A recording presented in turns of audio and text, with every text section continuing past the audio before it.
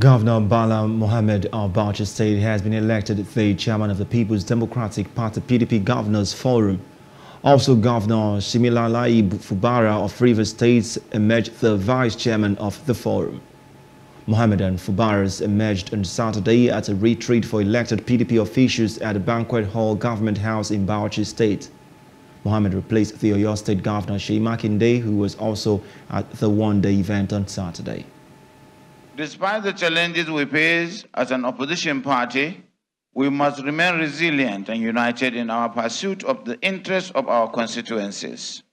Conflicts with the governors and within our ranks serve only to divide us and undermine our shared objectives.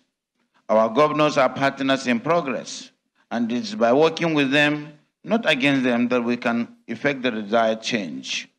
Among, although the currently we currently hold a minority position in the National Assembly. This should not deter us from extending our influence and fulfilling our duties.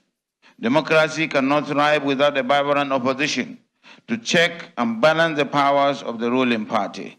Let us remember, let us embrace this role with power and unwavering commitment. We should also put the country above everything else. Let me use this opportunity to extend a fervent call to the members of the judicially handling election cases at the various tribunals. Your role is paramount in upholding the principle of justice, impartiality, and the rule of law. The future of our democracy rests on your shoulders, and the nation is watching you with a view to making sure you do justice to us. Hello. Hope you enjoyed the news. Please do subscribe to our YouTube channel and don't forget to hit the notification button so you get notified about fresh news updates.